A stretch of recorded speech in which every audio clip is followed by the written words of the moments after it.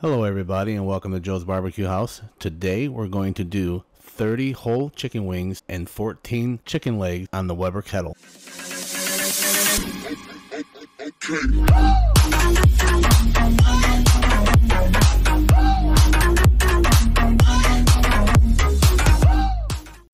So the rubs I'm going to be using today is made by Root Boy.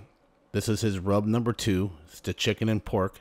It's got kosher salt, pepper, onion, smoked paprika, chili powder, mustard, cumin, and ginger. And I'm going to start out this cook with this Off Square Brewing. This is called Long Day, and it's an IPA, which is absolutely incredible tasting beer. This is my first time using Root Boy products. I heard a lot of great things about his rubs, so I went ahead and purchased them. And all I'm doing here is separating the wings and drumsticks because I'm going to do hot and mild. All right, let's go ahead and get this Root Boy rub number two all over these wings and legs. And I'm going to follow with some coarse black brown pepper and my hot rub. I'm also going to add some cayenne pepper to give these a little extra kick. So let's go ahead and get us a drink of our beer and get these mixed up. If you'd like to purchase Root Boy products, he has this rub number two, and he also has a rub number one, which I will show that in a different video. Root Boy has a Facebook group called The Root Boy Cooks. If you'd like to purchase these products, go there. And stay tuned, guys, because I am going to be doing a giveaway on both Root Boy's rub number one and rub number two. All right, let's go ahead and get this Weber kettle fired up.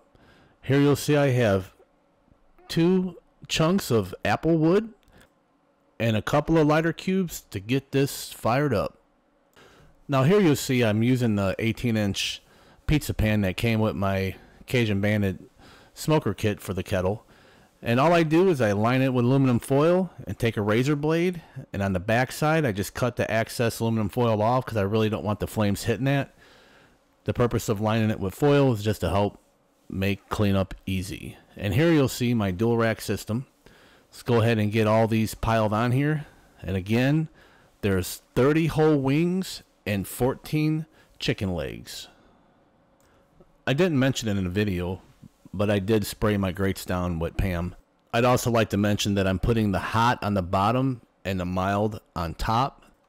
The reason why I don't put the hot on the top is because while it's cooking, you don't want all the drippings falling on the mild wings, making it too hot for the people who don't like spicy wings. All right, let's go ahead and get the top grate added, and let's get those mild wings stacked on the top.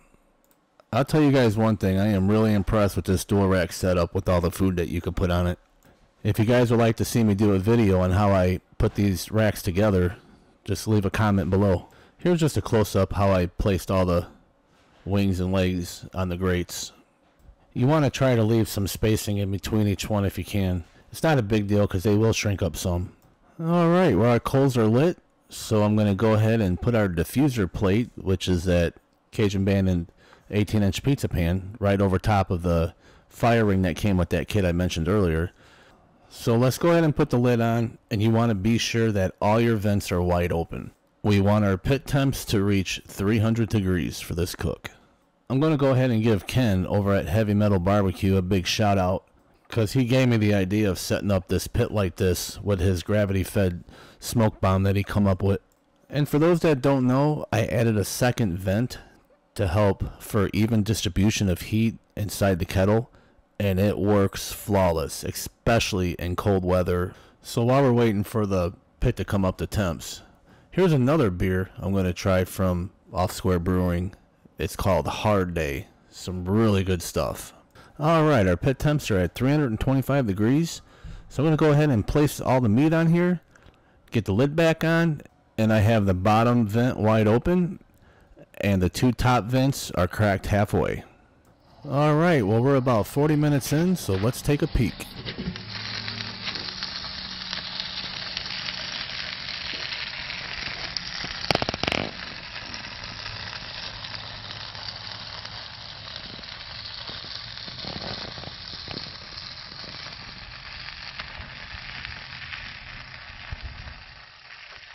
The current temperature is 21 degrees, and this thing is holding temps like a champ. I haven't touched the vents since I've started, and I'm really impressed in how this Weber kettle setup is performing. And it's been smoking like this through this entire cook.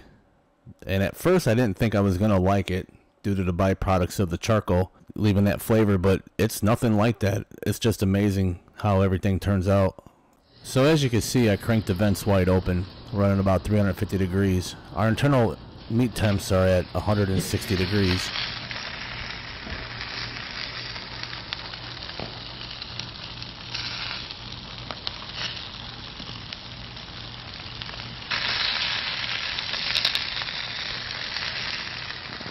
Gonna go ahead and leave it on here for at least another 10 minutes and we'll check back and see what they look like. Alright, well, I went ahead and pulled them because our internal temps was at 175 degrees. And I'm here to tell you, whoa, did you just see all them juices pop out of there? That is exactly why I like cooking the wings whole because I feel that it traps the juices. Well, here's a close up on how everything turned out. And I'm telling you, they taste mighty delicious. I gotta say that Root Boy rub is some really good stuff. I will definitely be ordering more of this here in the near future. Well, while I'm sampling all this goodness, I'd like to ask everybody, what are your thoughts on this Weber Kettle mod? Leave a comment below. If you like what you saw, please subscribe. If you learned anything, please hit that like button. Comment below all your thoughts and share to your friends. This is all I have for you guys, so have a great day.